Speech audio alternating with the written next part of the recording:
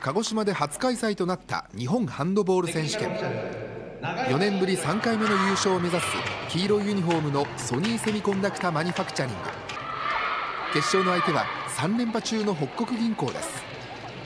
試合は東京オリンピック日本代表ソニーの須波が相手にマークされながらも得点を重ねていきます。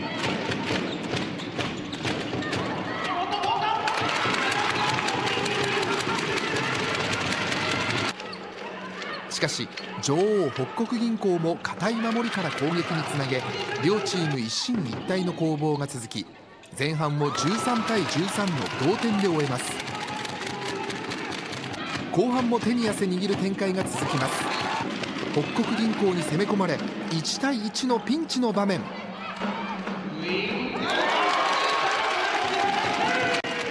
ールキーパー宝田のファインセーブ。このプレーで勢いに乗りたかったソニーでしたが徐々にリズムは北国銀行に。4連続ポイントを奪われリードを広げられていきます。ソニーも試合終了間際に4連続ポイントで追い上げましたが反撃及ばず。26対28で敗れ4年ぶりの優勝はなりませんでした。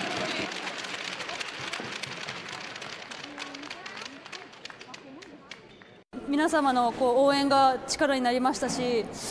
えっと、本当に私たちたくさんの方に支えていただいてこういうふうにハンドボールをさせていただいているので本当に次こそ、えっと、リベンジをして恩返しをしたいと思います。